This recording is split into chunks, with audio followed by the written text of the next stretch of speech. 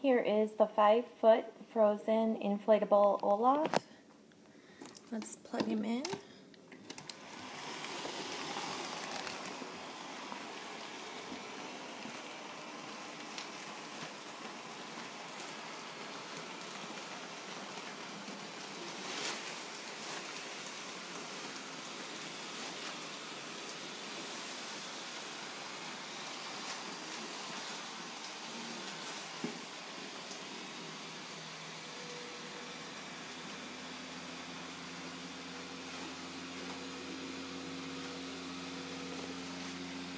Him straightened up a little bit.